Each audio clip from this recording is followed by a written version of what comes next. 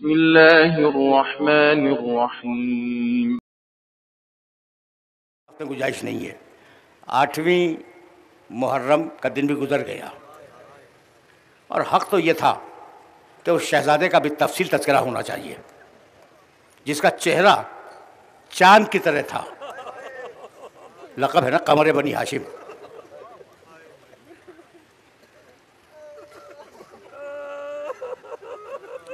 जब ये बच्चा पैदा हुआ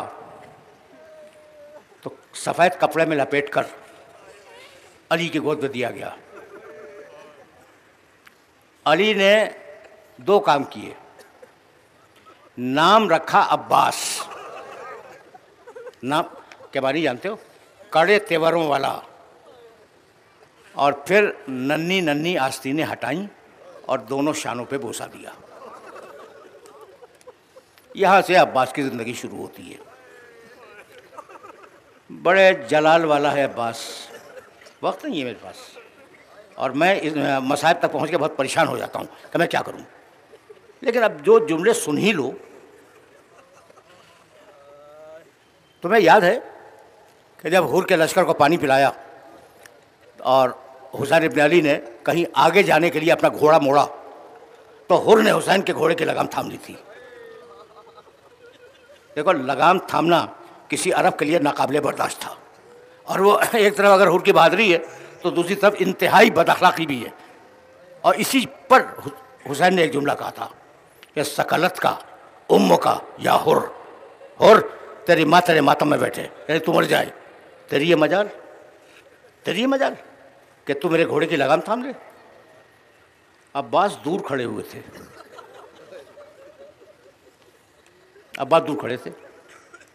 खुर कांपने लगा और कहने लगा फरजंद रसूल, आपने तो मेरी माँ का नाम ले लिया। लेकिन मैं क्या करूँ कि आपकी वालद माजिदा का नाम मैं वज़ू के बगैर ले भी नहीं सकता। दूर खड़े थे ना अब्बास, घोड़े को दौड़ाते हुए हुर के करीब आए और कहने लगे, हुर, ये किसकी माँ का तस्करा कर रहा था? अब अगर जबान से दोबारा ये जुमला निकला तो जबान काट कर तेरी हथेली पे रख दूँगा। इसका नाम है अब्बास। ये शहजादा समझ में आ गया? अच्छा एक वाक्य और सुन लो। छोटा सा एक वाक्य और सुन लो। चौथी मुहर्रम को हुसैन अपने खैमे में आराम कर रहे थे जोहर के बाद। बाहर से शोर की आवाज़ आई। शहजादी जैनब ने फिज़ा को भेजा, देख क्या कि हो क्या रहा है। फिज़ा गई, वापस आई और वापस आने के बाद का कहा, बीबी, यजीद की फ़ौज वाले कह रहे हैं, खैमा नहर से हटाओ। और अबुल फजल अब्बास को जलाल आ गया है। जुमला सुनो जुमला सुनो और मुझे इजाज़त दे दो। अब मैं तुम्हारे सामने कुछ बयान नहीं करना चाहता। अबुल फजल अब्बास को जलाल आ गया है। कहा, जा। अब्बास से कह कि तुम्हारी बहन बुला रही है। फिजा फिर गई। फिर वापस आई। कहा, बीबी, मैं क्या करूँ?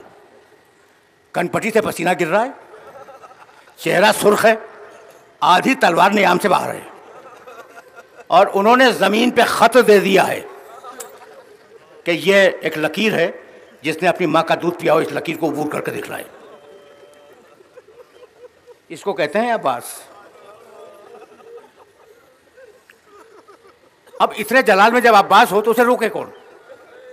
कहा फिजा जा और अब्बास से कह दे कि अगर तुम वापस नहीं आए तो तुम्हारी बहन खैमे से बाहर आ जाएगी।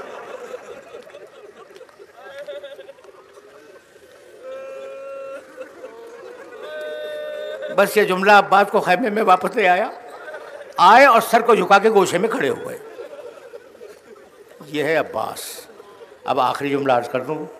ऐसा अब्बास ऐसा अब्बास एक मरहले पे आया, कहा, मौला, मुझे जंग की इजाज़त है। कहा, नहीं अब्बास नहीं, तुम्हें जंग की इजाज़त नहीं।